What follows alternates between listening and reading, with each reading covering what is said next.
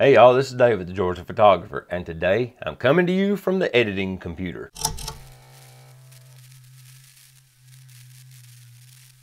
What I want to do is I want to do a tutorial on how I get my images ready for printing.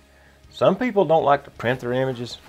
I do. I've done some prints the other day and I stuck a, a collage on the Instagram about this, like this image here. I printed this image and when I went to print it, the aspect ratio of an 8 by 10 is different from the image I uploaded. And because of that, I had to sacrifice some of the bottom and top of the image. And I felt like the image looked more powerful with the full image and trimming off the bottom and top yeah it really didn't hurt it much but the like the stripes of the shadows traveled on and it kind of just gives it that run out effect and kind of leads you in and I've shortened that to get it on here so I thought it's about high time that I make some templates so that I'll have white border templates and I can figure out my crop before I ever upload them to the print sites or CVS even. But yeah, these are CVS prints. The prints typically come out a little darker. So if you want to get consistent print results, from the lower end or more budget friendly printing places like um, I use Shutterfly a lot. You, it would do you well to add about a third of a stop of exposure compensation on top of the edit because it's going to come out looking just a little darker. Anyway, the program I use to do my, I guess you would call this Photoshop style edits is GIMP. I don't like Photoshop because I don't like paying a monthly fee for access to a program. Um, Jay Christina shows what happens if you don't pay that extortion fee every month. The access to your catalog of photos that they have on their cloud goes away and it becomes a problem. So I just edit on GIMP, which is open source and free, and it works great for me. And honestly, with the new versions of it, I haven't seen it crash at all. It, back in the early days, 2.6, things like that, it would crash. This is 2.10 and it is super stable. I have, like I said, I've yet to have trouble with it on Mac or PC. Now that that's out of the way, not sponsored by GIMP because it's open source and free, you can go find it, the GIMP.com, you can download it. I'm gonna create a new one, file, new. All right. What you're looking at here is the size of the image, okay? And you can choose multiple different ways of measuring the size of the image. I'm going to choose inches, not yards. That would be a huge image. But if I pick inches, because I'm in the United States, you can choose, see it's doing an 11 by 14. All right, let's say I want to do a 18 by 24, I'm pretty sure.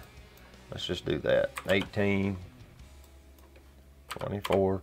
Now that's a, that's a pretty clean two by three ratio. That's really not gonna give me what I'm looking for, but it'll work. Actually, let's just back this down.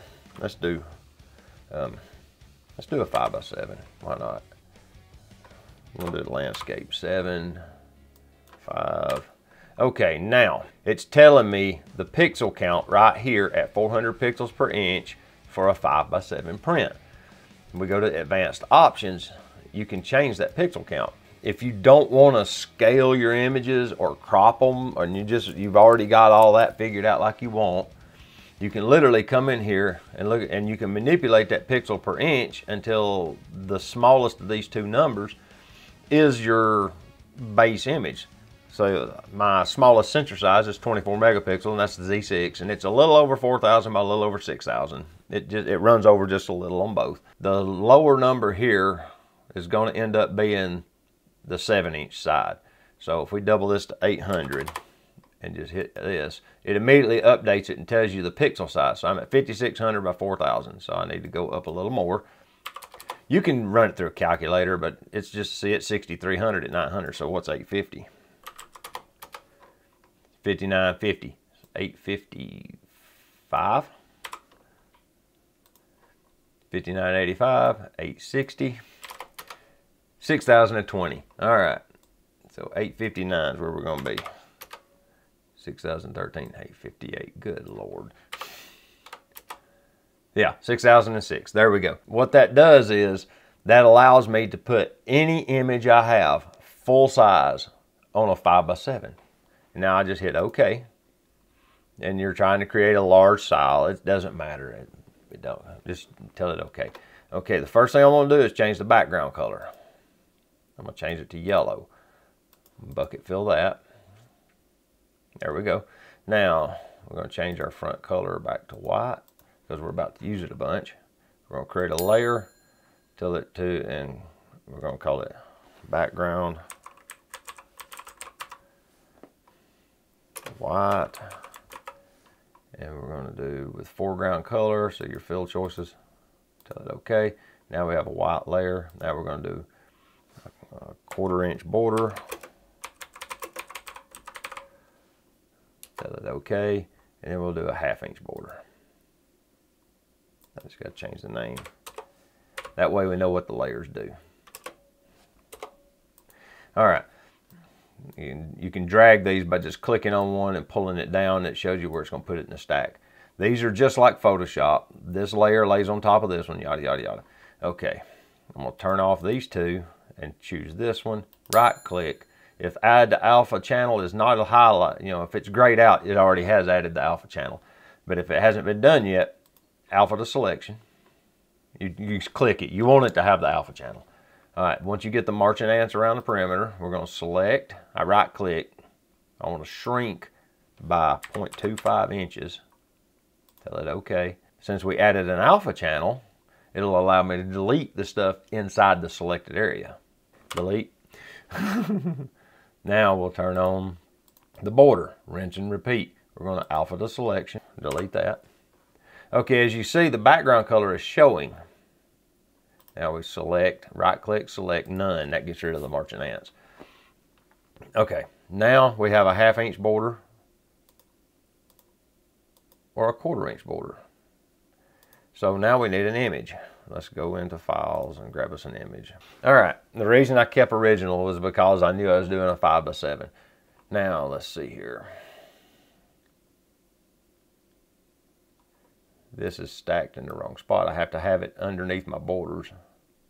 The borders are turned off currently. So if I turn on my borders, it immediately creates a bordered image.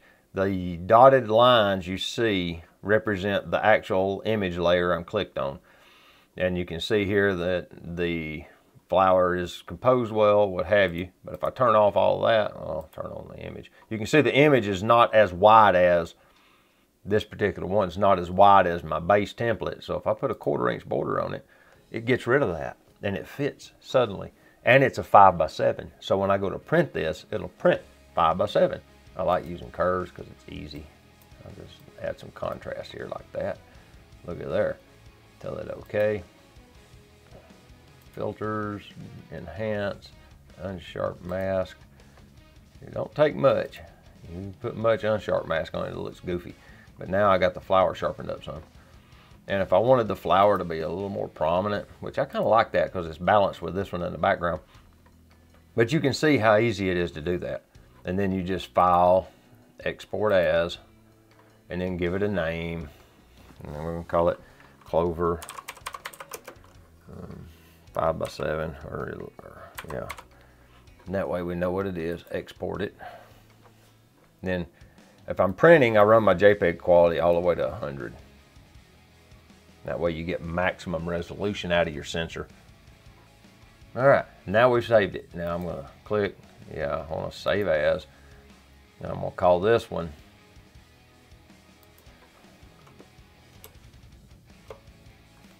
five by seven landscape template. Save. there it is. Now I have a saved template in the landscape form. You know, these work really well. So when you go to your uh, company that you get to print, like I'm using Shutterfly, and you see that I've pulled an image in, and the image is a square image. So if I add a 12 by 12 here, it's going to show. This is the actual image. If I pick it, you can see the crop options fill the whole image because I took these images as squares. These are reference photos of a clock I'm working on. Well, if I print it in 8 by 10, you look, I can't select the whole image. See, if I go to the center, I can't drag these out and create a white edge on both sides and get the whole image on an 8 by 10 It won't give me the choice. That's what's driven me to create those templates. It recognizes the white areas of the image as part of the image. And it'll allow me to print a non-matching aspect ratio image to this aspect ratio because print paper is not aspect ratio to sensor size for some reason. I don't know why, but it ain't. So that's what I wanted to do today was show you how you can get your whole image printed and you can have the images if you like white bordered images and some people really do. You know a lot of artistic photos are typically printed with white borders look at Evan Ranft he does all of his street photography that way. It's just his style. And it looks good. And it also if you're going to sell prints I've noticed uh, a lot of guys that do sell prints will print white borders because it gives them somewhere to sign their name that doesn't um, get on the print itself. You can actually see the signature as well as it doesn't have to be written on the print. That's what I wanted to go over today was to show you how this kind of balances if you create your template and then you can fit your image into that template, export it and do it that way. Of course, they say every time you process an image, you lose a little quality. And there's probably truth in that.